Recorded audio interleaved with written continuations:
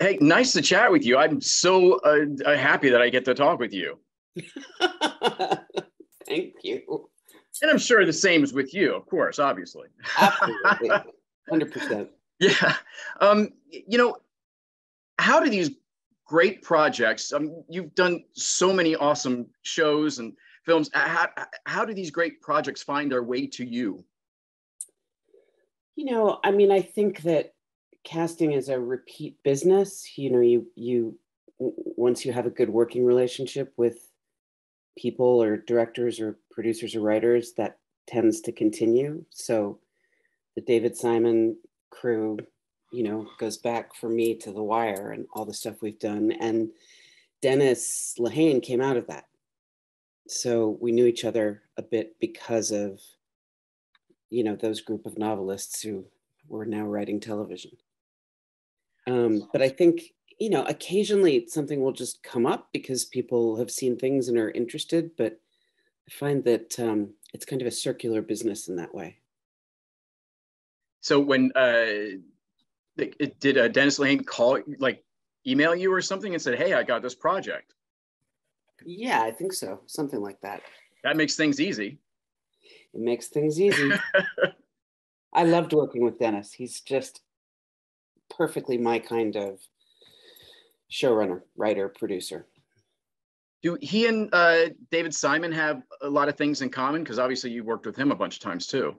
Well, it's just the quality of the writing and the development of character, and it's just a, you know, it's a it's a kind of attention to detail and storytelling that goes pretty deep, and it, that makes my job um, more interesting and in some ways easier because you're tackling complex um, relationships and characters. So uh, when uh, you say yes, I'm going to do this, are any of the actors already sort of attached to it, or uh, do you start making lists immediately? Um, every project's different. In this case, Taron was attached to Blackbird, um, so that happened before I came on. And it's hard to, not to say no to him because he was great. Yeah, I mean, there are a lot of uh, really wonderful producers on this project who I had worked with previously on HBO projects.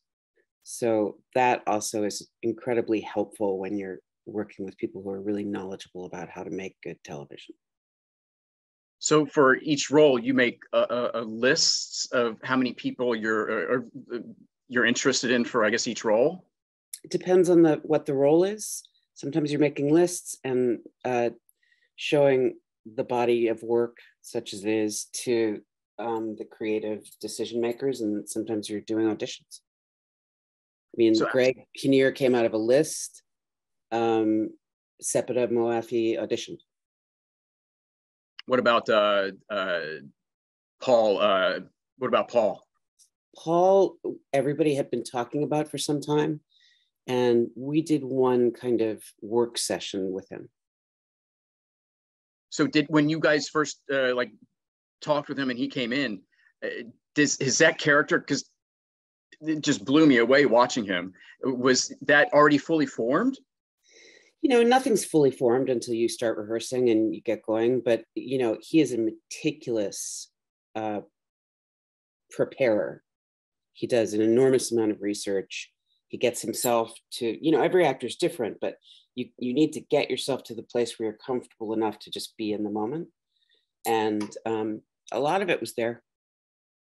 Wow, that's amazing to me. Um, had you I, had you like seen a ton of his work before? Yeah, and he's I've read with him before. I mean, the thing about you know what I do is you're usually not meeting people for the first time over a certain age. right. Um, what was the hardest role to, to cast for in this? Well, it for sure would have been that role if he hadn't been so singularly able to get in there. But um, I'm trying to think what was hard. You know, casting is just hard, but there was nothing in this that presented what felt like huge obstacles. It's also just not the way Dennis and I work. We just get down to it and do it. And he's not somebody who He's very articulate, very clear, and very fast, which is great for me. When you're uh, reading a script, do uh, images just come into your mind of like actors who would be perfect for certain roles? Never. I read scripts the way I read uh, novels. So I, I sort of see a, I see the character, but until I'm actually working on something, I don't fit actual living, breathing actors into it. you know, uh, it, it helps in a way because this is all about, you know, the connective tissue of the whole story that you're telling. It's not just about, you know, who's right for something when you've only read this much. I, I think it's, I need to sort of understand the whole you know, I just thought of this question, but uh, when you are like just like sitting around like watching, you know, TV on a Friday, Saturday night, or watching a movie, are you always working? You know, like just kind of scanning and watching uh, people actors work. Can you ever just enjoy a, a, something? Yeah, I can, but I watch a lot of uh, Scandinavian crime dramas and things where I'm not as familiar with the actors because mm-hmm. it helps me to just pop into story so after you cast like the first couple episodes, how and you know you have to cast uh, the other uh, episodes, but how involved are you in the day to day parts of the show? I mean, besides your casting uh, uh, aspect of it. Well, I mean, casting is a lot of admin as well. You know, a lot of the guest actors, you know, aren't in it for the whole thing. So if the schedule changes, we have to redo the deal and hire them and make sure they're available. So you're you're working the whole time. Um, I kind of said this before, but you've cast so many of not only my favorite TV shows, but uh, a lot of people's shows, uh, including uh, as a former Maryland boy, one of the best shows ever, The Wire. Uh, as you were in the middle of it, uh, did it ever feel like you were working on like greatness? No, it, it. I mean, we all knew it. We we all loved it and I think we knew that it was unique and that it was authentically telling a story about real people. But you have to understand in any David Simon project, it is like triage all the time. There are 50 people in every scene. Um, you know, when we did the Deuce, it's the same thing. You're just in it and trying to get through it, making sure that you're doing the most creative and um, appropriate casting you can to get sort of from A to be. You also, in something like The Wire, this was true on The Deuce too. When you're casting the principal characters in the beginning, you're it's it is actually the casting process that's helping you to understand who those characters are and that somebody who read for this might be better for this and blah blah blah. It's like you're putting a puzzle together. I, I, I did an episode of a homicide when he was uh, uh, running it, and uh, one, one of my scenes, he, he was just so singularly focused on what I needed to do. And he like took me aside and he was just so great to me and so nice. And it, it, it he, he was great. I can see why you guys, uh, why you like working with him. So wait, he had written Tom Fontana ran Homicide. Well, I mean, yeah, he, he had wrote the episode, but uh, he was right. there on set with with right. Uh, with well, us. Yeah, and that's a very extremely common thing in the in that world. They're very good about that. Um, you know, you've introduced so many well-known actors, uh, Idris Elba of The Wire, uh, Ozark, Julia Garner, uh, J.K. Simmons with uh, Oz. Mm-hmm. Um, and I know he was like on Broadway prior. I think, was he on Broadway prior to that? I can't. Guys and Dolls. Yeah. I can't quite remember. Does that guy, does that make you feel good that you kind of jump started, start all these like now hugely famous uh, people's careers? I mean, if you, if I thought about it that way, I don't really, I mean, I think the joy is, that matching a great actor to a great role, which creates something sort of magical that you can't really put your finger on, is just great for them. You know, that part is really thrilling. And also, I think the bonds that casting directors and actors have is very singular. You know, we have no skin in the game. We don't get a commission. So if in a, in a case like that, or you know a lot of the people I cast in Generation Kill and The Wire, that there's a purity to that kind of um, friendship that really comes out of that shared experience. Um, there's a, a, a, saying where uh, you don't uh, you don't try and book the audition, you try and book the room. Okay, I've never heard that. No, you never have. No. Um, but uh, with that, uh, you cast Lee Tergesen in a lot of things.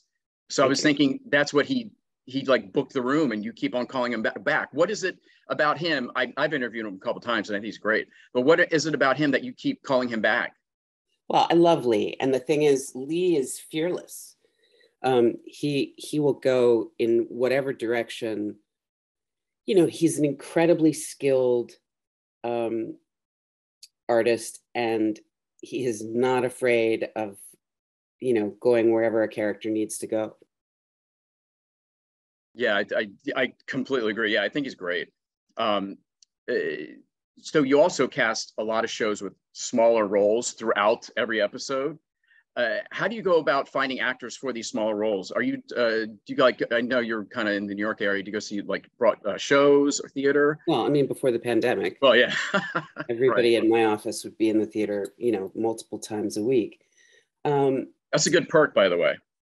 Well, you have to pay work for in it. your office. Yeah. Well. Everybody. Oh, they don't give it to you for free. No. Really? Oh my gosh. Um, but it's just the job you know it's it's your job as a casting director to know as much about the people who will be great at doing one or two lines than the people who can carry the whole thing it's it's just understanding the what's appropriate and you you read people you know um in this era of self tapes what makes a good self tape for you like when where you actually want to call them back i haven't been doing any self tapes Oh yeah, that's amazing. I mean, yeah. I, I that no, I think that's great. I mean, I I love being in the room actually. You know. Yeah. No. I mean, I think as soon as as soon as we could see, I guess it was March 2020 to June that we were down, and you know, I have two brilliant casting associates, and I just said to them, I didn't talk to other casting directors, and I just said, figure out whatever way it is to replicate the audition room. And I thought it was going to be really expensive, but it wasn't. So then, uh, I guess to, to, to ask a, the question a different way, like what makes a good audition for you? Where even if they're kind of not right for the part, you're like, I I will I want to bring him in or her in for something uh, else down the road. I mean, it's so simple. It's really just um, paying attention to the material and doing it justice and being truthful in that way. There's there's no trick. That's that is the trick. Oh, that's good. I've never heard that before. Yeah. Nice. Um, and then my uh, my just final question that I love to ask uh, everybody: What has been like? What's your craziest audition story? Gosh, when I was at this is in the '80s. Oh God, I, I've told the story, but now I don't remember what Oh, yes, I do. Uh, I was at ABC, and um, it's not an audition story. It's just a the lengths people will go to. And somebody came to the office dressed as a giant bunny to present their resume. But was it around? was it around Easter? I can't remember, but it was definitely something that leaves you rather speechless.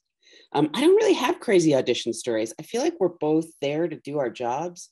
And for the most part, you know, that's what happens. You know, if people come prepared, or maybe I, I have a reputation that you should be prepared because I'm there to work too. And I, I don't, I don't have any of those like Sigourney Weaver stories.